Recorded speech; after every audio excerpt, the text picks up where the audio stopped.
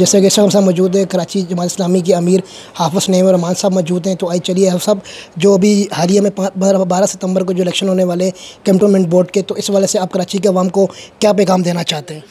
देखें, कराची के लोगों के लिए बेहतरीन मौका है कि कराची को अपने असल की तरफ़ अगर लौटाना है और तामीर व तरक्की की तरफ़ लेकर जाना है तो उनके पास एक ही रास्ता है और वह है जमात इस्लामी का रास्ता और तराजू का रास्ता। ये मैं इसलिए नहीं कह रहा कि मैं जमात इस्लामी की पार्टी की तरफ़ से, ये आप पूरा कराची की एक हिस्ट्री है ना, जिस तरह पाकिस्तान के क़्याम से लेकर अब तक। तो जो तामीर व तरक्की कराची की है, उसकी पूरी तारीख़ जमात इस्लामी के साथ ही जुड़ी हुई है।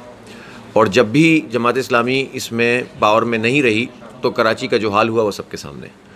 आपने देखा कि दरमियान में बहुत बुरा हाल था। बीच में नमतुल्ला खान साहब आए तो कराची कहाँ से कहाँ पहुँचने लगा? फिर उसके बाद आप देखें, जवाल ही जवाल है।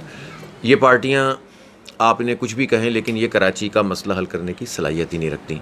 इसलिए मेरी ये दरख्वास्त है कराची के लोगों से कैंटोनमेंट के इंतबात में तराजू पर मोहर लगाएँ जमात इस्लामी के कैंडिडेट्स को कामयाब करें और यहीं से इन कराची की अपलिफ्टिंग होगी और फिर के एम सी यानी बल्दिया के इंतबात में भी और कौमी और सूबाई के इंतबात में भी इन जीत का सफ़र शुरू होगा। थैंक यू सो मच फिर हम मिलेंगे एक नई वीडियो के साथ।